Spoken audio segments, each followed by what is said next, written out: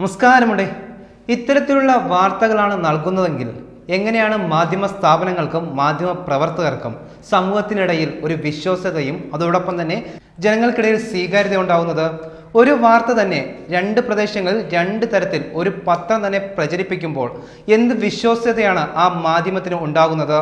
അതിൽ ഏറ്റവും ശ്രദ്ധേയമായ കാര്യം കഴിഞ്ഞ ദിവസം ആർ പ്രവർത്തകൻ കൊല്ലപ്പെട്ടതാണ്. വാർത്ത ഇങ്ങനെയാണ്. പാലക്കാട് ആർ എസ് എസ് പ്രവർത്തകനെ വെട്ടിക്കൊന്നു എന്ന തലക്കെട്ടിലാണ് പത്രത്തിൽ വാർത്ത വന്നത്. ഭാര്യയോടൊപ്പം ബൈക്കിൽ പോയ ആർ എസ് എസ് പ്രവർത്തകൻ സജിത്തിനെ കാറിലെത്തിയ സംഘം വാളുകൊണ്ട് വെട്ടിക്കൊന്നെന്നും വാർത്തയിൽ വ്യക്തമായി പറയുന്നുണ്ട്. ഇത് ടൈംസ് ഓഫ് ഇന്ത്യയാണ് കേരളത്തിൽ അച്ചടിച്ച പത്രത്തിൽ നൽകിയിരിക്കുന്നത്. ഇതേ സെയിം വാർത്ത ചെന്നൈയിലെ എഡീഷനിൽ നൽകിയിരിക്കുന്ന വാർത്ത ഇങ്ങനെയാണ്. പത്രത്തിന്റെ ചെന്നൈ എഡീഷനിൽ ഇതേ വാർത്ത ആർ പ്രവർത്തകൻ റോഡ് അപകടത്തിൽ കൊല്ലപ്പെട്ടു.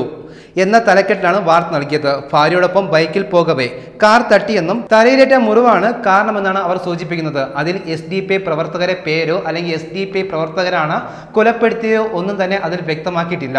ഇങ്ങനെയാണ് ഒരു മാധ്യമ സ്ഥാപനം പ്രവർത്തിക്കുന്നുവെങ്കിൽ എന്ത് വിശ്വാസ്യതയാണ് ജനങ്ങൾക്കിടയിൽ ടൈംസ് ഓഫ് ഇന്ത്യ പോലുള്ള ഒരു ദേശീയ മാധ്യമത്തിന് ഉണ്ടാകുന്നത്? ഇത് വളരെ നീചമായ പ്രവർത്തനം എന്ന് തന്നെ പറയേണ്ടി വരും. കാരണം മറ്റു മാധ്യമ പ്രവർത്തകരെയും മറ്റു മാധ്യമ സ്ഥാപനങ്ങളെയും ജനങ്ങൾക്കിടയിൽ വിശ്വാസ്യത നഷ്ടപ്പെടുന്നതിന് ഏറ്റവും ഉത്തമ ഉദാഹരണം തന്നെയാണ് ഈ ഒരു വാർത്തയെ നമ്മൾ വിശേഷിപ്പിക്കേണ്ടത്.